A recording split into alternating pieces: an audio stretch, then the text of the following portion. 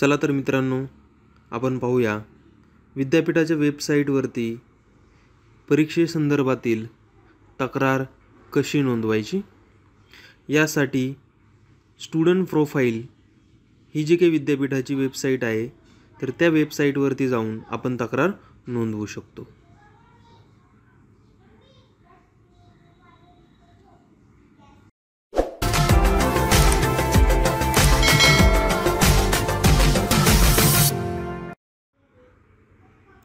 सर्वप्रथम आपण गुगलवर जाऊन सर्च करूया. S P S dot uni Pune dot A C dot in या वेबसाईटवरती जायचे या ठिकाणी पहा student profile system Savitribai Phule Pune university ही जी वेबसाईट आहे तर यावरती क्लिक करायचे यावरती क्लिक केल्यानंतर आपणास काही इन्स्ट्रक्शन्स सूचना मिळतील.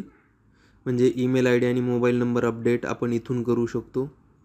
या सूचना तुम्हाला या मराठीमध्ये पण पाहायला मिळू शकतात. आपण थोडं स्क्रीनवरती स्क्रोल करूया. आता इथे पहा स्टुडंट स्टुडंट सेक्शन आहे. या सेक्शनमध्ये लॉग इन तर या लॉग इनवरती जायचे.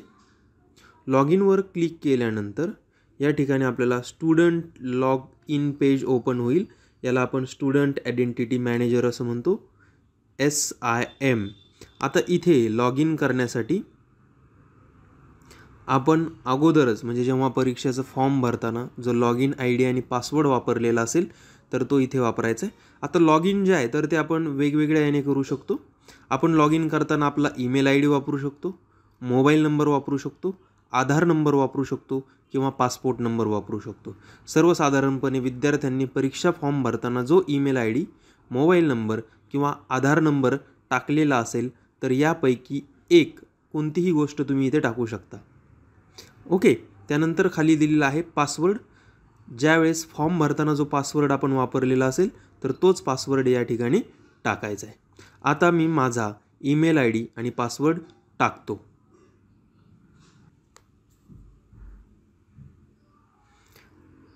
आता मी माझा मोबाईल नंबर आणि पासवर्ड टाकलेला आहे. यानंतर खाली कॅपचा म्हणून काही अंक दिलेले आहेत. तर ते अंक enter captcha text as shown in image इथे तुम्ही टाकायचेत. तो आहे four one seven five five आणि लॉग इन या बटनावरती क्लिक करायचे. Four one seven five five. आणि लॉग इन या बटनावरती क्लिक करायचे.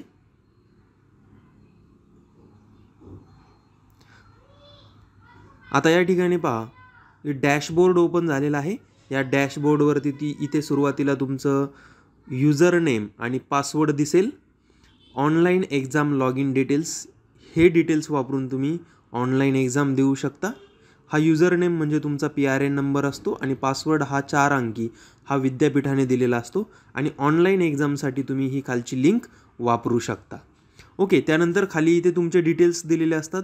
तुमचा P R N number eligibility number तुमचा कोर्स कोणता आहे ही सर्व माहिती या ठिकाणी दिलेली असते. कॉलेज कोड दिलेला आहे कॉलेज नेम दिलेला आहे.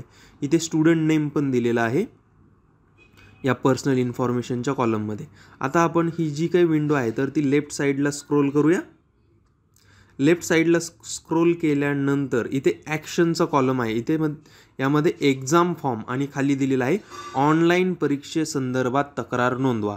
आता तुम्हाला ऑनलाईन परीक्षा देताना वेगवेगळ्या प्रकारच्या अडचणी आलेल्या असतील की ज्यामुळे तुम्हाला एक्झाम देता आलेली नाही किंवा तुमची एक्झाममध्येच बंद झालेली आहे किंवा तुमची टेस्टमध्येच सबमिट झालेली आहे तर त्या संदर्भात तुम्ही इथे तक्रार नोंदवू शकता. मग तक्रार नोंदवण्यासाठी या ऑप्शनवरती क्लिक करा. या ऑप्शनवरती क्लिक केल्यानंतर सुरुवातीला तुम्हाला तुमचा नाव तुमचा ईमेल आय डी किंवा मोबाईल नंबर जो आहे तर तो इथे दिसेल. आता आपण खाली स्क्रोल करूया. खाली स्क्रोल केल्यानंतर आपल्या विषयांची नावं दिसतील.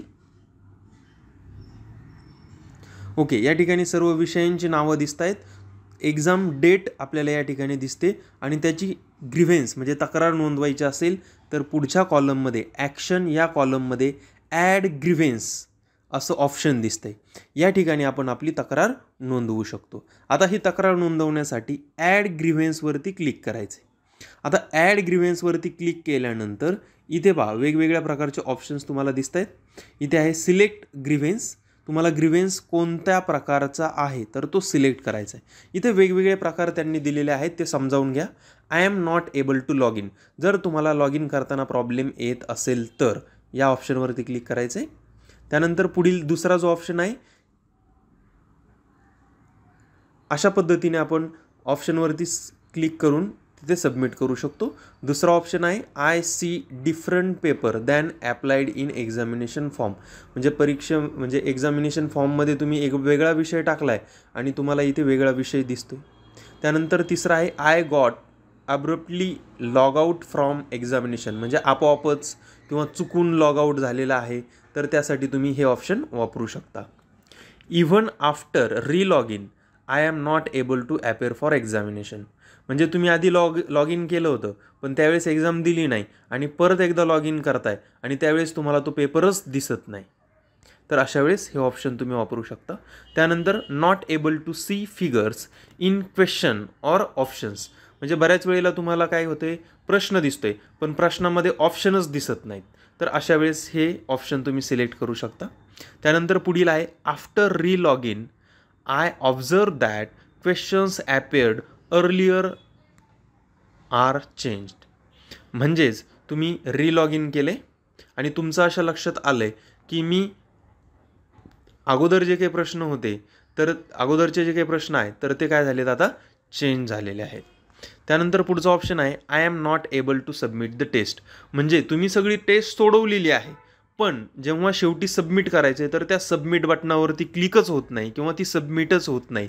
तर अशा वेळेस याच्यावरती तुम्ही तक्रार नोंदवू शकता.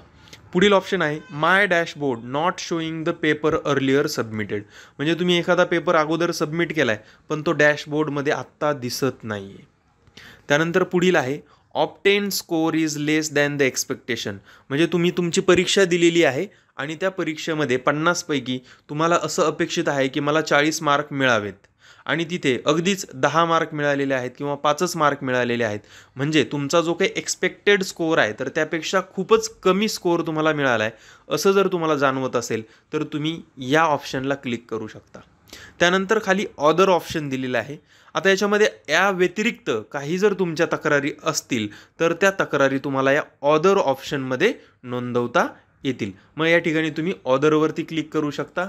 त्याचबरोबर खाली दुसरा ऑप्शन दिलेला आहे एंटर ग्रिव्हेन्स डिटेल्स आता इथं एंटर ग्रिव्हेन्स डिटेल्समध्ये तुम्हाला तुमची जी काही तक्रार आहे तर ती सविस्तरपणे या ठिकाणी मांडता येईल. मग तुम्ही ती इंग्रजी भाषेमध्ये किंवा मराठी भाषेमध्ये इथे टाईप करू शकता जसं तुमच्या मोबाईलला ऑप्शन असेल त्याप्रमाणे. आणि खाली डाव्या बाजूला जे ऑप्शन दिलं आहे सेव्ह ग्रिव्हेन्स तर याच्यावरती क्लिक करायचे म्हणजे तुमची तक्रार काय होईल या ठिकाणी नोंदवली जाईल. या व्यतिरिक्त अजून तुमची काही अडचण असेल तर विद्यापीठाने जो दिलेला स्टुडंट हेल्पलाईन नंबर आहे तर त्या नंबरवरती तुम्ही संपर्क करू शकता. धन्यवाद.